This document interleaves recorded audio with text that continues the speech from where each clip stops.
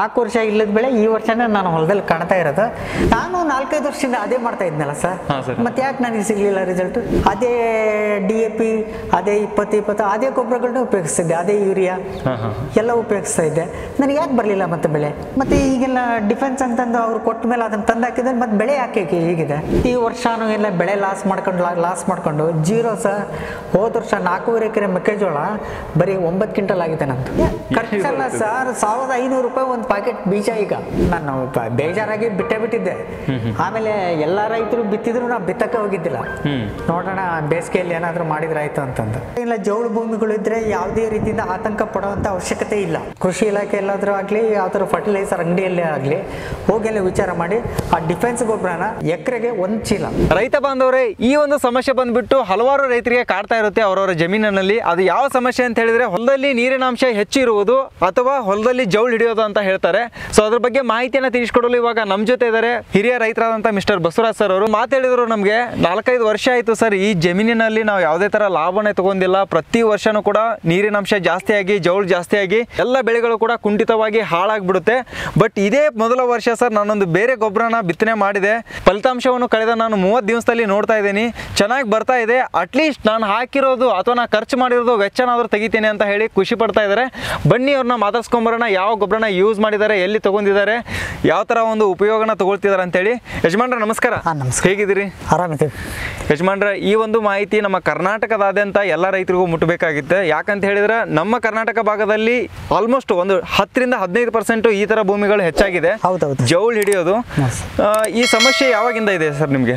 ನಮಗೆ ಸುಮಾರು ವರ್ಷದಿಂದನೂ ಈ ಸಮಸ್ಯೆ ಕಾಡ್ತಾನೆ ಇತ್ತು. ಪ್ರತಿ ವರ್ಷನೂ ಜೋಳ ಬಿತ್ತನೆ ಮಾಡೋದು ಆಮೇಲೆಲ್ಲ ತಿಂಗಳು ಗಂಟ್ಲೆ ಮಳೆ ಹಿಡಿಯೋದು ನಮ್ಮದು ಮಲೆನಾಡು ಪ್ರದೇಶ.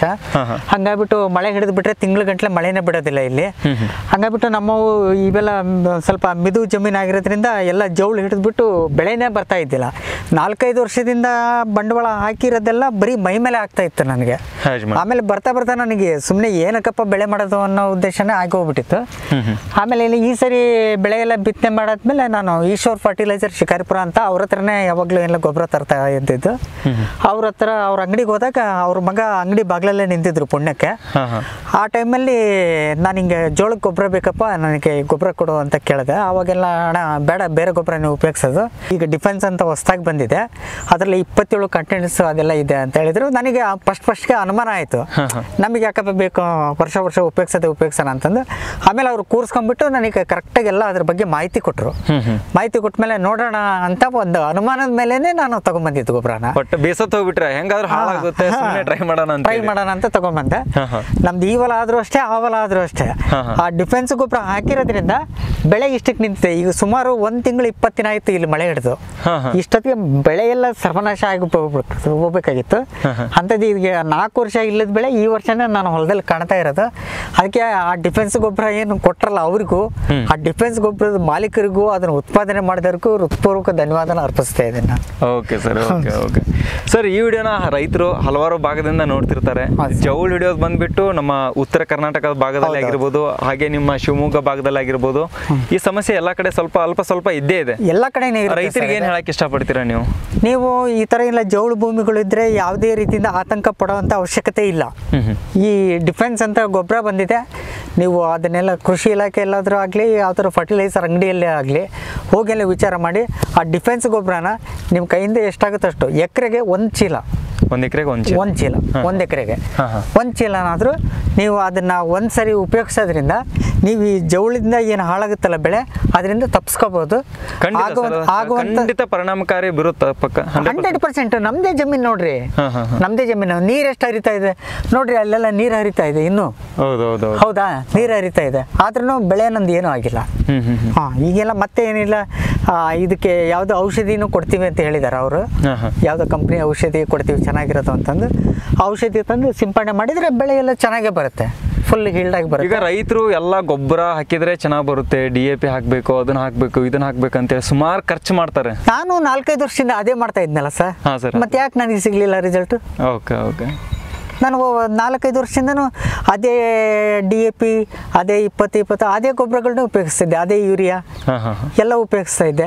ನನಗೆ ಯಾಕೆ ಬರಲಿಲ್ಲ ಮತ್ತೆ ಬೆಳೆ? ಮತ್ತು ಈಗೆಲ್ಲ ಡಿಫೆನ್ಸ್ ಅಂತಂದು ಅವ್ರು ಕೊಟ್ಟ ಮೇಲೆ ಅದನ್ನು ತಂದು ಹಾಕಿದ್ರೆ ಮತ್ತೆ ಬೆಳೆ ಯಾಕೆ ಹೀಗೆ- ಹೀಗಿದೆ? ಇಲ್ಲೇ ಇದೆಯಲ್ಲ ವ್ಯತ್ಯಾಸ. ಖಂಡಿತ ನಾನು ಅನುಭವಿಸಿರೋದಕ್ಕೆ ನಾನು ಹೇಳ್ತಾ ಇರೋದು. ನಾನು ವೈಯಕ್ತಿಕವಾಗಿ ಅನುಭವಿಸಿರೋದಕ್ಕೆ ಪ್ರತಿ ವರ್ಷನೂ ಎಲ್ಲ ಬೆಳೆ ಲಾಸ್ ಮಾಡ್ಕೊಂಡು ಲಾಸ್ ಮಾಡ್ಕೊಂಡು ಜೀರೋ ಸಹ ಹೋದ ವರ್ಷ ನಾಲ್ಕೂವರೆ ಎಕರೆ ಮೆಕ್ಕೆಜೋಳ ಬರೀ ಒಂಬತ್ತು ಕ್ವಿಂಟಲ್ ಆಗಿದೆ ನಂದು. ಬರೀ ಒಂಬತ್ತು ಕ್ವಿಂಟಲ್. ಬರೀ ಒಂಬತ್ತು ಕ್ವಿಂಟಲ್ ಆಗಿದೆ. ಖರ್ಚು ಕೂಡ ಬಂದಿಲ್ಲ ಬಿಡಿ ಖರ್ಚಲ್ಲ ಸರ್ ಸಾವಿರದ ಐನೂರು ರೂಪಾಯಿ ಒಂದು ಪ್ಯಾಕೆಟ್ ಬೀಜ ಈಗ. ಬಿತ್ತನೆ ಬೀಜ ತರ್ತೀವಲ್ಲ. ಸಾವಿರದ ಐನೂರು ಸಾವಿರದ ಆರುನೂರು ರೂಪಾಯಿ ಕೊಟ್ಟು ಒಂದು ಪ್ಯಾಕೆಟ್ ಬಿತ್ತನೆ ಬೀಜ ತರ್ತೀವಿ. ಅಂಥದ್ದು ಒಂಬತ್ತು ಪ್ಯಾಕೆಟ್ ಬೀಜ ತಂದಿದ್ದೀನಿ ನಾನು. ಒಂಬತ್ತು ಕ್ವಿಂಟಲ್ ಮೆಕ್ಕೆಜೋಳ ಆಗಿದೆ ನಂದು. ಅದು ಈ ಒಂಬತ್ತು ಕಿಂಟಲ್ ಫುಲ್ ಆಗಿಲ್ಲ. ಎಂಟು ಕಿಂಟಲ್ ಎಂಬತ್ತು ಕೆ ಜಿ ಆಗಿದೆ ಹಂಗಾಗ್ಬಿಟ್ಟು ನಾನು ಬೇಜಾರಾಗಿ ಬಿಟ್ಟೇ ಬಿಟ್ಟಿದ್ದೆ. ಆಮೇಲೆ ಎಲ್ಲ ರೈತರು ಬಿತ್ತಿದ್ರು ನಾ ಬಿತ್ತಕ್ಕೆ ಹೋಗಿದ್ದಿಲ್ಲ. ನೋಡೋಣ ಬೇಸಿಗೆಯಲ್ಲಿ ಏನಾದರೂ ಮಾಡಿದ್ರೆ ಆಯ್ತು ಅಂತಂದು. ಆಮೇಲೆ ಮತ್ತೆ ನಮ್ಮ ಮನೆಯಲ್ಲೆಲ್ಲ ಇದು ಮಾಡಕತ್ತಿದ್ಮೇಲೆ ಬಿತ್ತಿದ್ವಿ. ಬಿತ್ತಿದ್ಮೇಲೆ ಮಳೆ ಹಿಡೀತು. ಅದೇ ಟೈಮಿಗೆ ಕರೆಕ್ಟಾಗಿಲ್ಲ ಅವ್ರು ಗೊಬ್ಬರನೂ ಕೊಟ್ಟರು ಪರವಾಗಿಲ್ಲ ನಾನು ಖುಷಿಯಾಗಿದ್ದೀನಿ. ಓಕೆ ಬೆಳೆ. ಇದನ್ನ ಈ ಗೊಬ್ಬರ ಅಂದ್ರಲ್ಲ ಈಗ ನೀವು ಮೆಕ್ಕೆಜೋಳ ಕಷ್ಟ ಹಾಕಿದ್ರೆ ಅಥವಾ ಬೇರೆ ಎಲ್ಲ ಬೆಳೆಗಳಿಗೂ ಯೂಸ್ ಮಾಡ್ಕೋಬಹುದು ಎಲ್ಲ ಬೆಳೆಗಳಿಗೂ ಯೂಸ್ ಮಾಡ್ಬೋದು. ಎಲ್ಲ ಬೆಳೆ ಒಳ್ಳೆ ಗೊಬ್ಬರ ಬಾಳೆ ಅಡಿಕೆ ಎಲ್ಲಕ್ಕೂ ಎಲ್ಲದಕ್ಕೂ ಉಪಯೋಗಿಸ್ಕೋಬಹುದು ಏನು ಏನು ತೊಂದರೆ ಹಾಕಿದ್ದೀರಾ ಈಗ? ನಾನು ಅಡಿಕೆಗೆ ಹಾಕಿದ್ದೀನಿ. ಈಗ ಮೆಕ್ಕೆಜೋಳಕ್ಕೆ ಹಾಕಿದ್ದೀನಿ. ನೆಕ್ಸ್ಟ್ ಎಲ್ಲ ಭತ್ತಕ್ಕೆ ಎರಡನೇ ಗೊಬ್ಬರ ಕೊಡ್ತೀವಿ ಅಂತ ಹೇಳಿದ್ದಾರೆ ಅವರೇ. ನಮ್ಮ ಈಶ್ವರ್ ಫರ್ಟಿಲೈಸರ್ನವರು ಮೊದಲನೇ ಗೊಬ್ಬರಕ್ಕೆ ಬೇಡ ಎರಡನೇ ಗೊಬ್ಬರಕ್ಕೆ ಕೊಡ್ತೀನಿ ಅಂತ ಆ ಭತ್ತಕ್ಕೂ ಅದನ್ನೇ ಉಪಯೋಗಿಸ್ತೀನಿ ನಾನು. ಡಿಫೆನ್ಸ್ ಗೊಬ್ಬರದವ್ರು ಏನು ಮಾಡಿದ್ದಾರೆ ಅಂದರೆ ಅವರೊಂದು ಐಡಿಯಾ ಇಷ್ಟು ದಿನ ನಾವು ಭೂಮಿಗೆ ಬರೀ ಕೆಮಿಕಲ್ ಗೊಬ್ಬರಗಳನ್ನು ಕೆಮಿಕಲ್ ಔಷಧಿಗಳನ್ನು ಉಪಯೋಗಿಸಿ ಉಪಯೋಗಿಸಿ ಉಪಯೋಗಿಸಿ ನಮ್ಮ ಭೂಮಿಗಳು ಅದಕ್ಕೆ ಹೊಂದ್ಕೊಂಡ್ಬಿಟ್ಟಿದ್ದಾವೆ ಕೆಮಿಕಲ್ಗೆಲ್ಲ ಕೆಮಿಕಲ್ಗೆಲ್ಲ ಹೊಂದ್ಕೊ ಹೊಂದ್ಕೊಂಡ್ಬಿಟ್ಟಿದ್ದಾವೆ ಆಮೇಲೆ ಭೂಮಿಯಲ್ಲೂ ಯಾವುದೂ ಒಳ್ಳೆ ಸಾರಾಂಶ ಅನ್ನೋದಿಲ್ಲ. ಹಾಗಾಗ್ಬಿಟ್ಟು ಅವ್ರು ಏನು ಮಾಡಿದ್ದಾರೆ ಅಂದರೆ ಅದಕ್ಕೆ ಇಷ್ಟು ಪರ್ಸೆಂಟ್ ಕೆಮಿಕಲ್ ಪ್ಲಸ್ ಆರ್ಗ್ಯಾನಿಕ್ ಎರಡನ್ನೂ ಮಿಕ್ಸ್ ಮಾಡಿಬಿಟ್ಟು ಅದೊಂದು ಒಳ್ಳೆ ಗೊಬ್ಬರ ಮಾಡಿದ್ದಾರೆ ಅವರು. ಹಾ ಹಾ ಹಾ. ನನ್ನ ವೈಯಕ್ತಿಕ ಅಭಿಪ್ರಾಯ ಹೇಳುತ್ತೆ ನಾನು.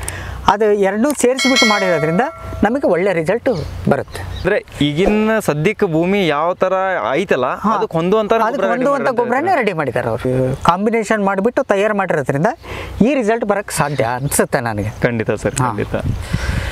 ರೈತ ಬಾಂಧವರೇ ಬಸವರಾಜ್ ಸರ್ ಅವರು ನಮಗೆ ಕಂಪ್ಲೀಟ್ ಆದ ಒಂದು ಮಾಹಿತಿನ ತಿಳಿಸ್ಕೊಟ್ರು. ಸರ್ ನಿಮಗೆ ಹೃತ್ಪೂರ್ವಕವಾದ ಧನ್ಯವಾದಗಳು. ನಿಮ್ಮ ಸಮಯವನ್ನು ನಮಗೆ ಮೀಸಲಾಗಿ ಇಟ್ಟು ಮಳೆಯಲ್ಲಿ ಬಂದು ಕೂಡ ನಮಗೆ ಸಹಾಯ ಮಾಡಿದ್ರಿ ವಿಡಿಯೋ ಮಾಡಲಿಕ್ಕೆ. ಖಂಡಿತವಾಗಿ ಈ ವಿಡಿಯೋದಿಂದ ಹತ್ತು ಹಲವು ರೈತರಿಗೆ ಲಾಭ ಆಗುತ್ತೆ. ಯಾಕಂದ್ರೆ ವಿಡಿಯೋ ನೋಡಿ ಅವ್ರ ಭೂಮಿ ಈ ತರ ಹಾಳಾಗ್ತಾ ಇದ್ರೆ ಅದನ್ನ ಸುಧಾರಣೆ ಮಾಡ್ಕೊಳ್ತಾರೆ. ಸರ್ ಹತ್ರ ನಂಬರ್ ತಗೊಂಡ್ ಕಾಸು ನಾನು ಆನ್ ಸ್ಕ್ರೀನ್ ಮೇಲೆ ಹಾಕಿರ್ತೇನೆ. ಇನ್ನೋವೇಟಿವ್ ಡಿಫೆನ್ಸ್ ಗೊಬ್ಬರದ ಬಗ್ಗೆ. ನಿಮಗೆ ಹೆಚ್ಚಿನ ಮಾಹಿತಿ ಬೇಕಾದಲ್ಲಿ ಆ ನಂಬರ್ಗೆ ಕರೆ ಮಾಡೋ ಮುಖಾಂತರ ಮಾಹಿತಿನ ತಗೋಬಹುದು ಈ ವಿಡಿಯೋ ನಿಮಗೆ ಇಷ್ಟದಲ್ಲಿ ತಪ್ಪದೆ ಇನ್ನೂ ಹತ್ತು ಹಲವು ರೈತರಿಗೆ ಶೇರ್ ಮಾಡಿ. ಮತ್ತೆ ಸಿಗೋಣ ಇದೇ ರೀತಿ ಒಂದು ಕೃಷಿ ವಿಡಿಯೋನೊಂದಿಗೆ ಧನ್ಯವಾದಗಳು. ಸರ್ ಥ್ಯಾಂಕ್ ಯು ನಮಸ್ಕಾರ.